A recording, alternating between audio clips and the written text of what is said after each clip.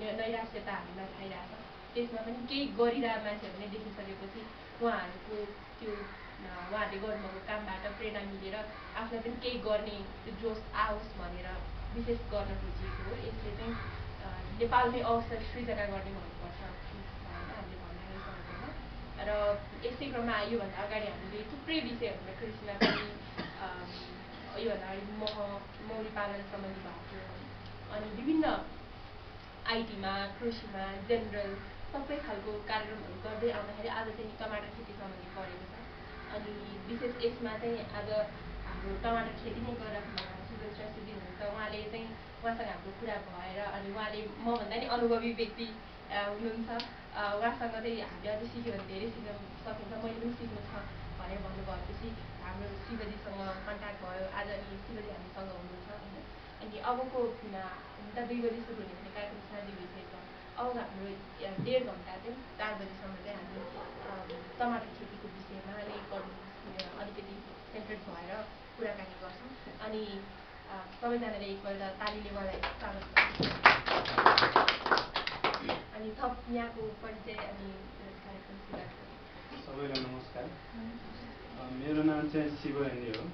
यो घर चाहिँ भक्तपुर हो। र म चाहिँ नि पेसाले कृषि विशेषज्ञ हुँ र मेरो मेन विशेषज्ञता भनेको बागवानी कृषिमा पनि। त्यो बाहेक म उद्यमी पनि हुँ। एउटा अब धेरैजना कन्सल्टेन्ट पनि गर्छु। र म लगभग सात आठवटा संस्थामा कन्सल्टेन्ट गर्छु। जस्तै एनआरएनहरूको एउटा जिसाई प्रोजेक्ट छ। उहाँहरूको भयो अनि युथ भिजन नेपाल अनि सुरुवात नेपाल अनि एग्रिकेयर नेपाल भन्ने छ चितवनमा। उहाँहरूको अन्डरमा आठवटा जिल्लामा ट्रेनिङ दिन्छु। र त्यो बाहेक तिनवटा सहकारीमा म कन्सल्टेन्ट भन्नाले टेक्निकल एक्सपर्टको रूपमा काम गर्छु। र त्यो बाहेक म चाहिँ नि एउटा उद्यमी किन भन्दा मैले हामी समूह हामी छब्बिसजनाको समूह छौँ। र उहाँ समूह हामी मिलेर हामीले एउटा चाहिँ बङ्गुर भनेर भक्तपुरमा हामीले बङ्गुर पालनमा एउटा ब्रिडिङ सेन्टर आजभन्दा छ वर्ष अगाडि हामीले सुरुवात गरेका छौँ। र हाल हामी उपत्यकामा हामी नम्बर वानमै छौँ बङ्गुर ब्रिडिङमा। र त्यो बाहेक हामीले समूहमा च्याउ खेती पनि छ र सहकारी हामी सहकारीमा नै भक्तपुरमा हामी नम्बर वान छौँ कृषि सहकारी र आधुनिक कृषि सहकारी भन्ने छ। त्यहाँ आजभन्दा चार वर्ष अगाडि हामीले खोलेको हौँ र त्यो सहकारी चाहिँ कृषि क्षेत्रमा हामीले भक्तपुरमा पहिलो हो र त्यसमा हामी अगाडि नै छौँ र अहिले चाहिँ हामीले छब्बिसजना हामी र सहकारी मिलेर तरकारी बजार पनि खोलेछौँ भन्नाले भक्तपुरमै। भन्नाले यसरी हामीले सामूहिक भन्नाले सामूहिक कृषिलाई हामीले प्राथमिकता साथ हामीले अगाडि भन्नाले बढाउँदै बढाइरहेका छौँ। र मेरो चाहिँ विशेष गरी अहिले चाहिँ यो काठमाडौँ उपत्यका जस्तै काठमाडौँ भक्तपुर ललितपुर काभ्रे र धादिङमा म चाहिँ फिल्ड फिल्डमा व्यवसायिक कृषकहरू जसले गोलबेडा खेती गर्छ। त्यहाँ अब महिनाको दुई तिनचोटि फिल्ड भिजिट गर्ने र उहाँलाई अब हामीले सकेको टेक्निकल जुन सर्भिस भनेर सल्लाह सुझावहरू दिने र उहाँहरूको त्यो जुन गोलबेडा फार्ममा लागेको डिजिजहरूदेखि आइडेन्टिफाई गरेर भन्नाले अब कुनै मेडिसिनहरू भन्नाले रिफर गर्ने त्यो काम चाहिँ अहिले म गरिरहेको छु। त्यति नै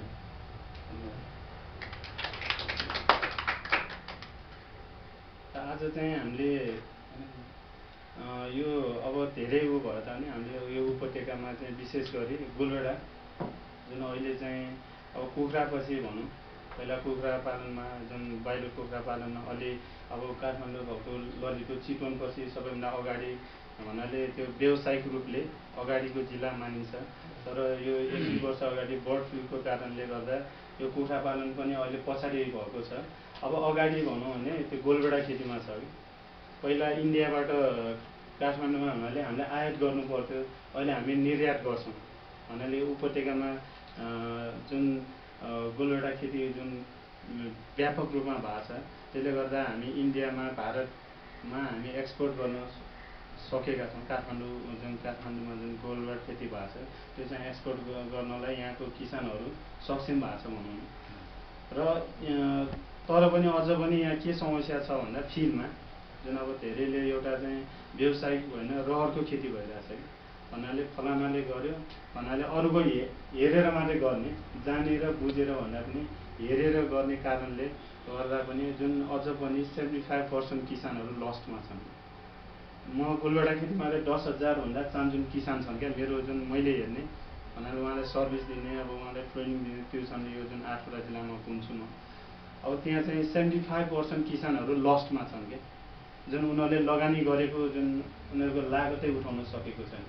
अनि त्यो मैले अब यो सात आठ वर्ष अन्तरालमा मैले के एनालाइसिस गर्नुपर्दा यो कि किन यसो भयो भन्दा मेन चाहिँ नि अरू आफूले जानेर भन्दा पनि अरूको अब फलानाले गोलबाट खेती गर्यो पत्र पत्रिका एउटा न्युजले गर्दा पनि एउटा जस्तै अब एउटा हेरेर अब न्युजमा यति फाइदा होइन? पत्रमा जसले आउँछ नि गोलबाट केबाट लाखपति के हुन्छ अब गोलबाट खेतीबाट यति गर्यो यति गर्यो भने त्यो जुन न्युजले गर्दा भन्नाले हावातालमा किसानहरू चाहिँ त्यसमा लागेका छन् जसले गर्दा उनीहरू फेल भइरहेको छ।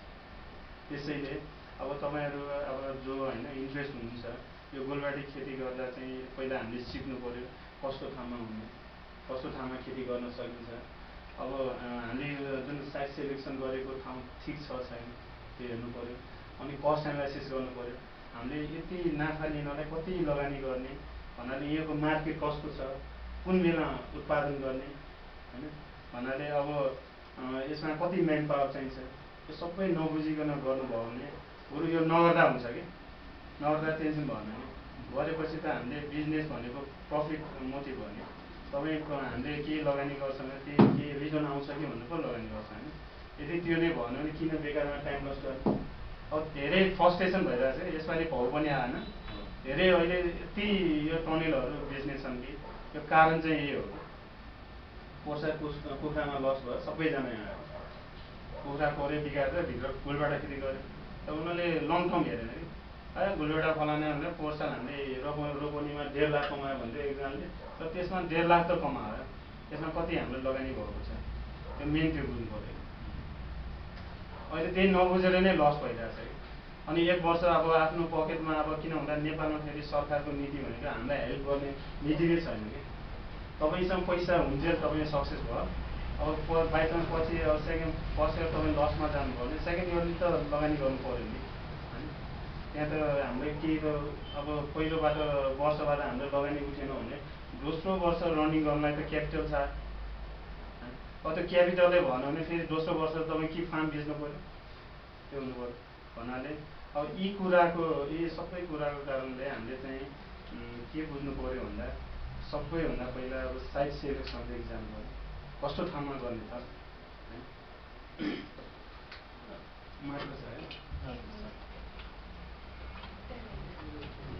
हामीले चाहिँ सबैभन्दा यो गोलबाडा खेती जस्तै हामी व्यवसायिक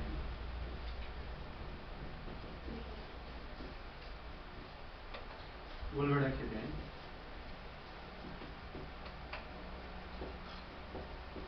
अब यो व्यवसायिक गोलबाडा खेती गर्दा सबैभन्दा पहिला हामीले साइट सेलेक्सनको कुरा हुन्छ क्या आजकल के छ भन्दा फिल्ड यो जुन ल्यान्ड रेन्ट जुन हामी तिर्छौँ नि त्यो नै एकनाश छैन कि? कसैले पच्चिस हजारसम्म तिरेको छ कि? त्यो किन भन्दा अब जग्गा यहाँ गोलबेडामा म्याक्सिमम् प्रफिट हुन्छ जुन त्यो एउटा दिमागमा सबै किसान त्यो हो ए जग्गाबाट अब हुन्छ या हुँदैन त्यो भन्दा पनि जति दिन होइन अब फाइदा जति नै भइहाल्छ। पच्चिस हजार तिरे पनि त्यो त्यस्तो रङ वेमा भइरहेको छ कि।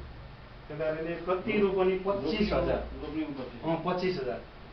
होइन यो आठ हजारदेखि पच्चिस हजारसम्मको रेन्ज छ क्या। मैले जुन अहिले हेरेको ठाउँमा भन्नाले पच्चिस हजार तिरेर तपाईँ अब आखिरमा त प्राइस त उयो हो नि भ्यालीमा है। तपाईँ प्रफिट कसरी हुन्छ? एउटा त्यो भयो। त्यो कारणले हामीले व्यवसायिक खेती गर्दा एउटा चाहिँ साइट सेलेक्ट होइन? जुन साइट सेलेक्सनको कुरा नि।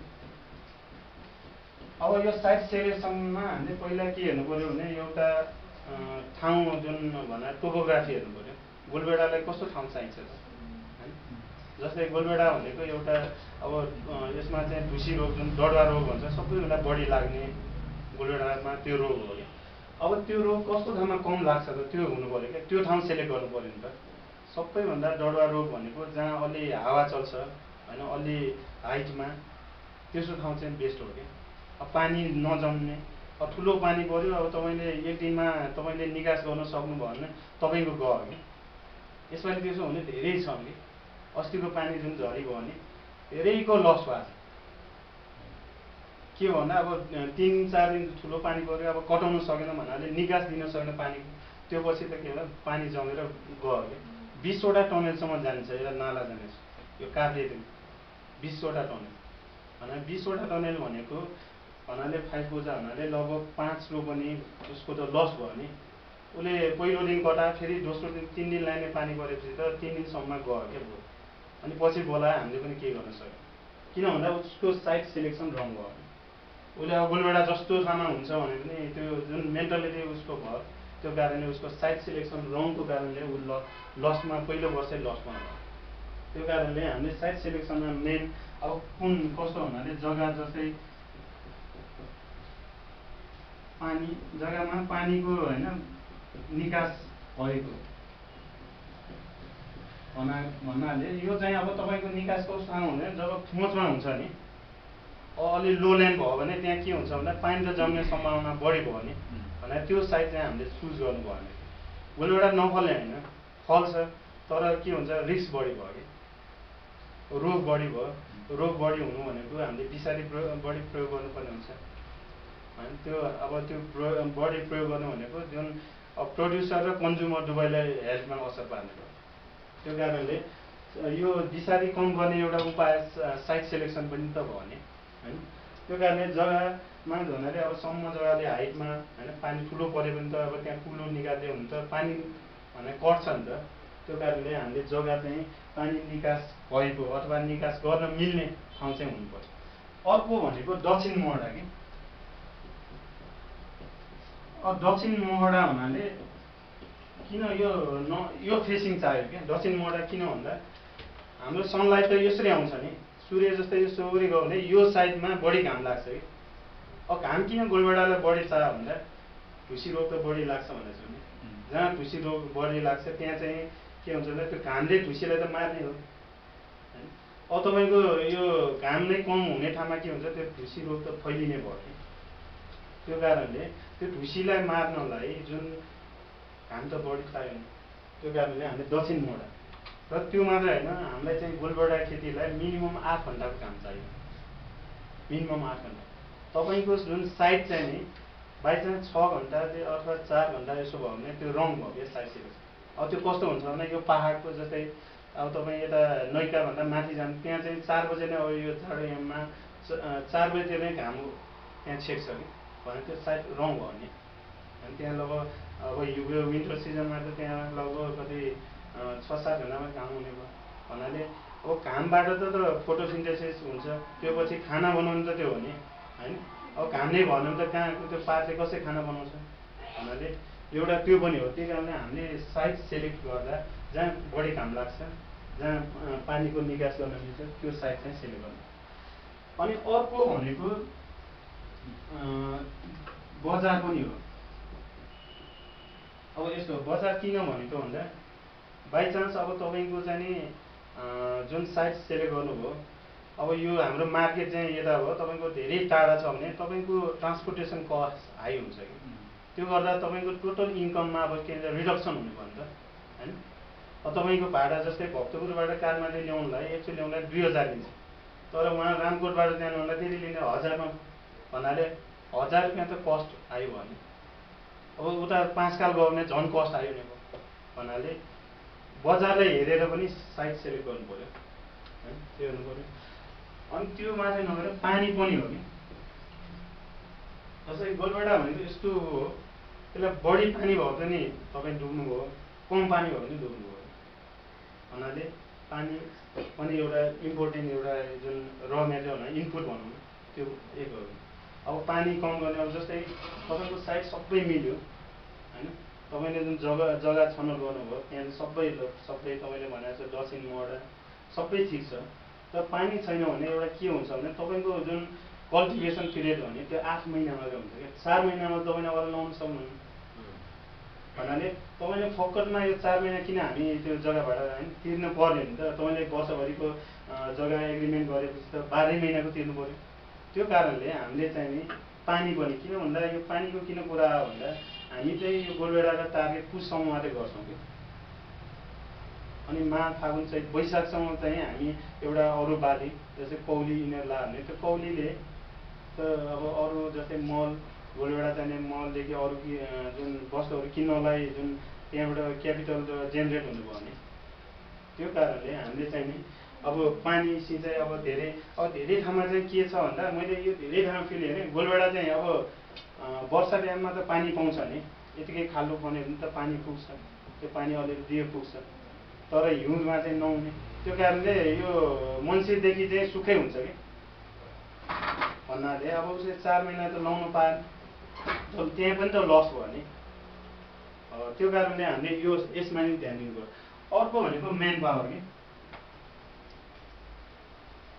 जुन हुनाले ज्यामी भनौँ न जे ज्याला जुन ज्यामी अथवा लेबरहरू लेबरको न ज्यामी।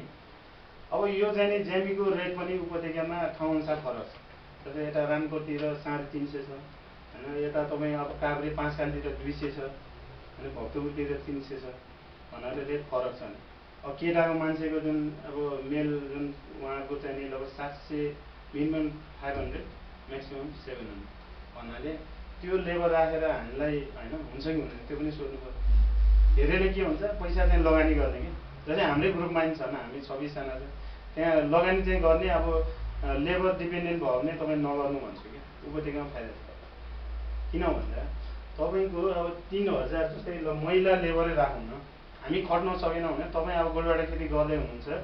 तपाईँ चाहिँ सबै लेबर अब होइन ज्यामी राखेर गर्ने जुन थिङ्किङमा हुनुहुन्छ भने नगर्नुहोस् भन्छु क्या म। किनभने तपाईँ कमाएको लेबर पाल्नमा ठिक हुन्छ हामीले त छ हामी जुन हाम्रो ग्रुपमा हामी छ वर्षको अनुभव छ हामी।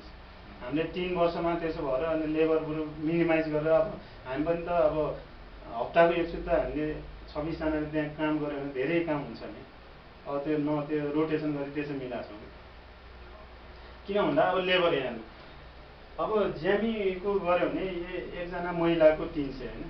अब तपाईँको ज्यामी राखेर गोलबेडा खेती गऱ्यो भने एक रोपनीलाई तपाईँको बिसदेखि तिस हजार लेबर चाहिन्छ। एक वर्षमा गोलबेडा र अब चार महिनाको कौडी हिसाब गऱ्यो। भने टोटल्ली त्यो गऱ्यो भने अब तपाईँको कस्ट अब के भयो इन्कम त भएको छ त्यही भनेर अघि नै डेढ लाखसम्म कमाउने छ पोहोर सालको डाटा अनुसार। एक रोपनीमा धान रोप्यो भने सात हजार गोलबेडा रोपेर डेढ लाख भने धेरै टाइम छ होइन। त्यो इन्कम त भएको छ नि। तर उसको लगानी पनि त म्याक्सिमम् छ नि। उसको लगानी एक लाखसम्म नै हुनु हुनु गएको छ। पोहोर साल अलिक गोलबेडाको प्राइस बढी भयो। अब कमाउने धेरै कमायो।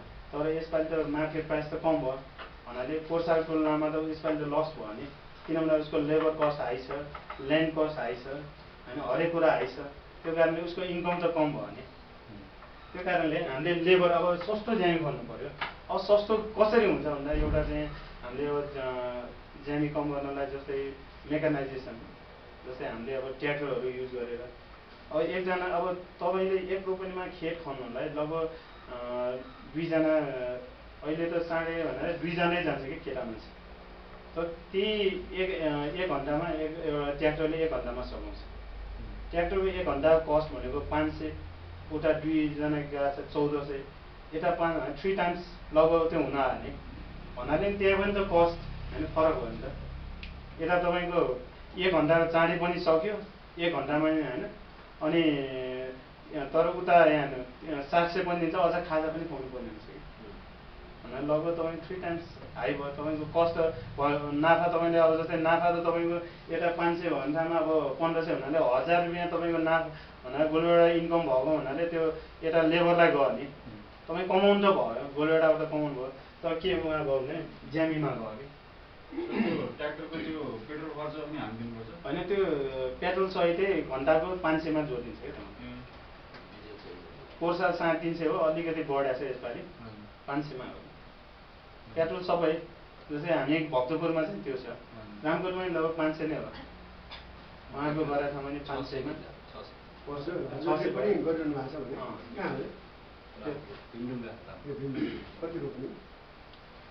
गोलबेडाबाट त एक्ज्याक्टली भन्दाखेरि दस रुपियाँ छ टोटल चाहिँ छब्बिस रुपियाँ अनि अर्को भनेको तपाईँको यो ज्यामी अब एउटा चाहिँ अब रोडको नि कुरा आउँछ कि? रोडको एउटा इक्जाम्पल जस्तै तपाईँको सा जुन मेन रोड जुन अब तपाईँको गोलबेडा लिन आउने गाडी सपोज अथवा जे तरकारी प्रडक्सन गर्नुभयो तपाईँको मेन रोड चाहिँ यहाँ छ भने योभन्दा लगभग एक किलोमिटर भित्र भयो भने तपाईँले त बोकेर त्यहाँसम्म ल्याउनु पऱ्यो नि। तपाईँले पाँच रोपनी अथवा दस रोपनी गर्नुहुन्छ भने लगभग तिस हजार वर्षमा त्यो हामीले हिसाब गर्दा त्यो अब दिनदिनै गर्दा त गएको फिलिङ हुँदैन। बाइचान्स तपाईँको यहीँ टिपेर त्यहीँ गाडी त्यहाँ आयो भने तपाईँको लेबर चार्ने त्यसले बोकेर त्यहाँसम्म ल्याउँदा दस रोपनीको फार्ममा तिस हजार रुपियाँ एक्स्ट्रा गयो भने एक ठाउँमा हामीले गरेको युथ अब तपाईँहरूको त्यही हो कि तपाईँहरूको पनि त बाटो छैन बोकेर त ल्याउनु पऱ्यो। होइन? अब भन्नाले आधी दिन त जान्छ जहिले पनि। होइन? भन्नाले अब उहाँहरूको इन्डाइरेक्टली अहिले हेर्दा केही गएको छैन कि? त त्यहाँ लगभग उहाँको दस रोपनीमा तिस हजार गएको छ भने उहाँको पाँच रोपनी भन्दा पन्ध्र हजार त एक्स्ट्रा वर्षति बढ्ने भयो नि त। भन्नाले अब हामीले साइड त्यो जुन ल्यान्ड जुन सेलेक्ट गरेको त्यो रोड पनि हेर्नु पऱ्यो। अथवा तपाईँ त्यो गुलबेडा मात्रै होइन अन्य तरकारी जुनसुकै तरकारी होस् अथवा लाइफ स्टक होस् मेन पाटो पनि हेर्नु पऱ्यो। अब यो साइट सेलेक्सन यति भइसकेपछि अर्को भनेको कन्स्ट्रक्सनतिर जान्छ कि अब तपाईँ गोलबेडा खेती गर्ने होइन अब हाम्रो त पहिला गोलबेडा खेती भनेको अफ सिजन हो क्या। यहाँ उपत्यकामा अफ सिजन गोलबेडा खेती भनेको यो सिजनल भनिँदैन कि यहाँ उपत्यकामा गर्नेलाई। अफ सिजन र जुन बेमौसमी र मौसमी के फरक छ भन्दा मौसमी भनेको जुन अब यो तराईमा यो तराईमा हो भने यो भन्नाले मङ्सिर कार्तिक मङ्सिरदेखि अ, फागुनसम्म हुन्छ कि। हामी कहाँ यहाँ उपत्यकामा अथवा यो हिल्स रिजनमा चाहिँ नि तपाईँको फागुनदेखि असारसम्मलाई सिजन भनिन्छ सिज सिजन भन्नाले मौसमी। अनि बेमौसमी किन भनेको भन्दा असारपछि त पानी परेपछि त गोरुबेडालाई पानी बढी भएको त्यो हुँदैन भनेको छ त्यो चाहिँ नि बेमौसमी भयो। त्यो कारणले बेमौसमी अब त्योभन्दा एगेन्स्ट होइन क्लाइमेटको एगेन्स्टमा जानु पऱ्यो त्यो एगेन्स्टमा जानलाई हामीले कन्स्ट्रक्सन गर्नु पऱ्यो त्यो कारणले किन अब पहिला त म टु दुई हजार उनपचास साल मैले नै आफ्नै घरमा भक्तुरमा गरेको पहिलो कसैले थाहा थिएन घरभन्दा कसैले गाई पाल्ने कि सोध्ने धेरै सोध्ने कि। तरकारी पनि कहाँ टनेलमा हुन्छ र भन्छ कि त्यो बेला। अहिले त धेरैले गर्यो होइन अहिले त नर्मल भयो नि। त्यो बेला त अलिक पहिला बनाउँदाखेरि सबैले हामी ग्रुप मिलेर गर्दाखेरि पहिला चाहिँ अब कसैले गाई पाल्ने हो कि कुखुरा त्यो अनि हामी गोलबेटा हुँदा पत्याउँदैन क्या कोही पनि। त्यो बेला अब ओपनमा हुन्थ्यो त्यो बेला त इन्डियाबाट आउँथ्यो नि त असार खाने होइन अन्ठाउन्न सालभन्दा अगाडि त तपाईँ यहाँको हिस्ट्री हेऱ्यो भने सबै इन्डियाबाट आउँथ्यो बिहारबाट आउँथ्यो अनि नेपालको धनकुटाबाट एक मिनट है, आउँथ्यो। म केही कुरा हजुर। मेरो अनुभव भन्छु हजुर। मेरो कुराले हजुरहरूलाई अथवा साथीभाइहरूलाई सहयोग पनि पुग्न सक्छ हजुर। अनि त्यसको चाहिँ नि प्रश्न अथवा केही चाहिँ नि त्यसमा छ भने अनि हजुरले जवाफ दिँदा सही होला जस्तो लाग्यो। जस्तो मैले चाहिँ अब तपाईँले उनान्चास सालको कुरा गर्नुभयो मैले चाहिँ उनासाठी सालमा अन्ठाउन्न उनासाठी सालमा चाहिँ पचास रुपियाँ जग्गा भाडामा लिएर। गोलबेडा तर गोलबेडा काउली मधुपर्सा इत्यादि धेरै चिज गरेँ। त्यो क्रममा के गर्ने भने पाँच हजार रुपियाँ रोपनीको। जग्गा भाडामा लिएँ है? त्यसपछि। लामाटारमा उनासाठी सालमा ए। अन्ठाउन्न साल भनौँ अन्ठाउन्न उनासाठी मैले दुई मतलब दुई वर्ष गरेँ अथवा बिस महिना जति अनि अब पहिलोचोटि लगाएँ। अब यसमा के देखेँ भने मैले एक किसिमले त हन्ड्रेड पर्सेन्ट जिक्स उयो तपाईँले अघि भनेको कुरामा चाहिँ के छ भने एउटा चाहिँ सरकारी निकायबाट व्यावसायिक खेती गर्नेहरूलाई इन्करेजमेन्ट छैन क्या होइन? त्यो इन्करेजमेन्ट कसरी ल्याउने भन्ने कुरा उनीहरूलाई मात्र दोष दिइरहनु पनि हाम्रो उचित होइन हामीले उनीहरूलाई स्याम्पलिङ देखाउनु पऱ्यो होइन? अब कसरी इन्करेज गर्नु? अहिले त अब निकै स्लोगनहरू ल्याएको छ। त्यो प्याक प्रोग्राम भनेको छ हिमालय प्रोग्राम भनेको छ। फिफ्टी पर्सेन्ट चाहिँ अनुदान ल्याउनुहोस् भनेको छ। तर उनीहरूले क्राइटेरिया दिएको छ मतलब जिल्लाहरू छुट्याएको छ। यसपालि यो जिल्लामा अथवा यो महिना यो आदि कुराहरू भएको छन्। तर मेरो अनुभव के छ भने त्यो बेलामा मैले पचास रोपनी गर्दाखेरि पचास पन्ध्र दुई लाख पचास हजार त पहिले मैले कृषकलाई दिनु पऱ्यो होइन?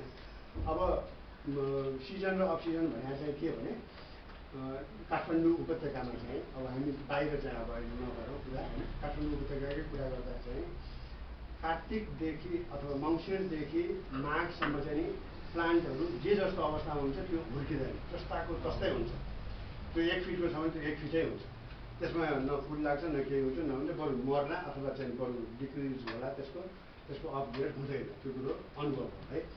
त्यसपछि अब हामीले कहिले गर्ने त भन्दाखेरि माघमा चाहिँ नि माघको अब टेम्परेचर बढ्न थाल्छ नि। अब त्यो बेलामा त अब म्याक्सिमम् टेम्परेचर नै चौध पन्ध्र सोह्र मात्रै हुन्छ। अनि मिनिमम चाहिँ जिरो डिग्री पनि झर्छ नि काठमाडौँमा अनि माघदेखि चाहिँ नि टेम्परेचर बढ्न थाल्छ। त्यस बेला अब हुन्छ हजुर त विज्ञ अब हजुरलाई भन्दा पनि मलाई म चाहिँ अनुभवको आधारमा म चाहिँ अब के अरे थ्योरिटिकल्ली होइन प्र्याक्टिकल्ली थाहा भएको कुरा बताइदिनु तपाईँहरूलाई सजिलो होला अथवा केही होला अनि माघमा अब पन्ध्र बिस अथवा माघ इन्डमा फागुन एक दुई गतेबाट चाहिँ हामी अब कहिलेकाहीँ चाहिँ अब फागुनमा गएर पनि हिउँ पऱ्यो काठमाडौँमा होइन? अब कहिले चाहिँ माघैदेखि पनि गर्मी सुरु हुन्छ यहाँ अब चेन्ज भइरहेछ ग्लोबल वार्मिङले गर्दा होइन? वार्म भएको कारणले होला के भयो त्यो कारणले होला चेन्ज भइरहेछ। अब माघको के अरे फागुनको फर्स्टमा चाहिँ हामी बेर्ना मतलब बिउ राख्छौँ। अनि क्यालेन्डरमा लेखेर राख्न सकिन्छ एक्काइस दिनको दिन। अथवा बाइस कति दिन छ? अब मैले अलिकति बिर्सेँ अब दस बाह्र वर्ष अगाडिको अनि त्यसपछि प्लान चाहिँ हामी सार्छौँ होइन? अनि सारेपछि अब असारसम्म त पानी पर्दैन। नपरेपछि त मजाले आउँछ। पन्ध्र बिस दिन बाइस दिन चाहिँ नि नर्सरीबाट निक्ल्यो त्यसपछि प्लान्टेसन गऱ्यो मतलब सार्यो बेर्ना सार्यो सारेपछि ट्याक्कै चाहिँ नि बिउ राखेको दुई महिनामा हामीले गोलबाट टिप्न सक्छौँ। अब त्यो बिचमा अब कहिलेकाहीँ चाहिँ अर्ली रेन हुनसक्छ। अथवा साउन लागेपछि मात्रै रेन हुने पनि हुन्छ कहिलेकाहीँ तर हामीले रिक्स नलिकन अब सेड चाहिँ बनाउँछौँ। मैले त्यो बेलामा एक सय पाँचवटा सेड बनाएको थिएँ। पचास रोपनीमा करिब करिब बिस पच्चिस रोपनी चाहिँ गोलबेडालाई दिएको थिएँ। अनि पन्ध्र बिस रोपनी काउली मेन चाहिँ दुइटालाई टार्गेट गरेको थिएँ। अनि मैले हिसाब निकालेको थिएँ मतलब म पचहत्तर टन चाहिँ नि यो वर्षमा गोलबाट निकाल्छु। यति टन काउली निकाल्छु। साइड बाई साइड त्यसपछि माघपछि चाहिँ नि अब अथवा जाडोमा मङ्सिरपछि मटर खोर्सा जुकिनी फर्सी आलुदेखि लिएर जम्मै धनियाँ इत्यादि कहीँ पनि खाली राख्दिनँ। पानी राम्रो लाग्ने ठाउँ थियो बाटोको एक्सेस थियो होइन? गाडीबाट दस के अरे दुई मिनट तिन मिनट मात्र बोक्दा हामी गाडीमा पुऱ्याउन सक्छौँ फिल्डमै गाडी जान्थ्यो। राम्रो थियो होइन? अनि गरेको तर अब त्यति बेला चाहिँ अब तपाईँहरूले सुन्नुभयो होला डक्टर केदार कुरा छुकी भनेर त्यति बेला हुनुहुन्थ्यो। अहिले पनि हुनुहुन्छ उहाँले अहिले पनि गरिरहनु भएको छ होइन यो गोलबेडाको टपिक राखेर भएर म यहाँ आएको है। अब त्यति बेला चाहिँ मलाई चाहिँ नि के फर्कियो भने एउटा त गभर्मेन्ट अथोरिटीबाट चाहिँ हामीलाई प्रोत्साहन भएन। किन प्रोत्साहन? प्रोत्साहन हामीलाई के चाहिन्थ्यो भने हामी इन्डिभिजुअल इन्डिभिजुअल मान्छे। हामीसँग जग्गा नभएको मान्छे गएर अर्काको जग्गा भाडामा लिएर उनीहरूको धान गहुँको पैसा बापत उनीहरूले कति कमाउनु पर्यो धान र गहुँ उनीहरूले मतलब जे भए पनि उनीहरूले पाँच हजारको दिन राजी भयो नि त। एक रोपनीको होइन? एक रोपनीमा कति धान आउँछ अथवा कति गहुँ आउँछ त्यो हिसाब किताब निकाल्दा त्यति बेला पाँच हजार भने म्याक्सिमम् अब अहिले बढ्दै गयो होइन? अब त्यति बेला चाहिँ नि एकजना मान्छेले अथवा मैले मात्रै भनौँ न हामीले गएर त्यहाँ चाहिँ नि सबै प्रबन्ध मिलाएर गर्दाखेरि अब मेरो सक्सेस भयो भने अथवा मलाई चाहिँ नि इन्करेज दियो भने अथवा चाहिँ नि सरकारले चाहिँ त्यो प्रोत्साहन दिएको भए मैले गरे देखेर अर्कोले पचास रोपनी गर्थ्यो अर्कोले बिस रोपनी गर्थ्यो अर्कोले पच्चिस रोपनी गर्थ्यो गर्थ्यो नि त। तर त्यति बेला हामीलाई व्यवसायिक हिसाबले अहिले पनि सायद प्रोत्साहन छैन होला होइन? सरकारबाट प्रोत्साहन हुनु जरुरी हो होइन? त्यसपछि अर्को चाहिँ के भयो भने अब अहिले चाहिँ हामी अब त्यो बेलामा चाहिँ इन्डियाबाट म्याक्सिमम् गोलबेडा होइन? अब यो मार्केटमा चाहिँ के भने यो सेयर मार्केट जस्तो भयो क्या त्यति बेला। हुन्थ्यो गोलबेडाको जस्तो बिहान चार बजी मार्केट खुल्थ्यो। अनि गोलबेडाको दाम चाहिँ अब गोलबेडा चाहिँ कति छ अब त्यहाँ? अब मार्केट अघिल्लो दिनको हिसाबले दस रुपियाँ मतलब पन्ध्र रुपियाँ थियो भने पन्ध्र रुपियाँ केजीमा सुरु भयो नि त्यहाँ होइन? अनि पछि अब इन्डियाबाट सुई सुई ट्रकहरू आयो भने त्यो घटेर सात आठ पनि आउँदैन अनि त्यो दिन अब कसै गरी आएन बाटो साटो बिग्रियो अथवा केही भयो भने चाहिँ अनि गोलबेडाको भाउ चाहिँ पन्ध्रबाट पैँतिस चालिस पचास पनि पुग्यो। होइन? त्यो हिसाब किताब पनि भयो। अब बाँकी रहेको कुरा यो गोलबेडा खेती गर्नलाई चाहिँ के हुनु पऱ्यो? तपाईँले भनेपछि सबै कुरा दर्शन गर्ने जग्गा हुनु पऱ्यो पानी काटिने हुनु पऱ्यो अनि पानी लाग्ने हुनु पऱ्यो। होइन? त्यसपछि अब बेमौसमी र मौसमीको कुरा चाहिँ के भयो भने अब त्यही अब के अरे असारदेखि त पानी पर्छ अनि एक झमट पानी चाहिँ उसले सहन्छ अनि दुई तिन झमट परिसकेपछि सिक्यो होइन? अब फेरि गोलबेडा त अब बाह्र पन्ध्र फिट पनि माथि जाने रहेछ होइन? अब त्यो उसलाई हामीले ठाकुर दिएनौँ अथवा त्यो त्यसलाई सपोर्ट दिएनौँ होइन? त्यो गरेनौँ भने त त्यहीँ जमिनमा हुने भयो कुहिने भयो माटोमा र बढ्ने भयो त्यसपछि त्यहीँ कुहिने भयो त्यसो भएर टनेल राखेर के अरे माथि डोराउँदै डोरीले बाँधेर डोराउँदै माथि गएर यसरी छानेमा गरेर हामीले एउटा अब जस्तो फागुनको दुई तिन गते रोपेको चिज अर्को वर्षको भनौँ त्यही वर्षको चैतसम्म पनि हामीले टिप्यौँ क्या। टिप्यो। है अब एउटा बोटबाट अब दस पन्ध्र केजी पनि फल्छ भन्ने पनि थियो। अनि बाँकी रहेको कुरा अब यहाँ चाहिँ पहिला ट्रेडिसनल्ली हुने भने चाहिँ नि सानो गोलभेडा होइन? त्यो सानो गोलभेडा चाहिँ नि अब त्यही फागुन चैत अथवा वाम भएपछि के अरे नेचर के अरे यो घाम बढी भइसक्यो टेम्परेचर बढिसकेपछि त्यो गोलभेडा सानो भएर अब त्यो अचार खानलाई चाहिँ नि मान्छेहरूलाई भान्सामा चाहिँ राम्रो हुने भयो भने त्यो रुचाउने होइन अमिलो अमिलो अलिक भाग भएर त्यो रुचाउने अनि त्यो गोलभेडा चाहिँ नि अब असारमा चाहिँ नि पानी पर्छ नि त अब त्यो सिद्धिन्छ अनि त्यहाँ धान रोप्नु ऊ हुन्छ उनीहरूलाई हतार हुन्छ त्यो धान रोप्नुको लागि त्यो एकदमै फाँड त्यसो भएर अब त्यो धान सान नरोपे अब गोलभेडै गरौँ। अब यो ठुल्ठुलो टमाटरको चाहिँ हामीसँग यहाँ काठमाडौँमा पहिला त्यति बेला चाहिँ बाली थिएन। अब अहिले त त्यो पनि होइन? नत्र अब यो त सलादको लागि मात्रै होटलमा मात्रै अब यो त अमिलो नहुने ठुलो अँ, विभिन्न जातको त्यहाँ बिउहरू इन्डियाबाटै आउने गर्थ्यो है? अब अहिले त नेपालमा पनि अब डेभलप गर्नुभयो होला उहाँहरूले पनि गर्नुभयो होला। जस्तो केदारबाट पनि गर्नुभएको छ।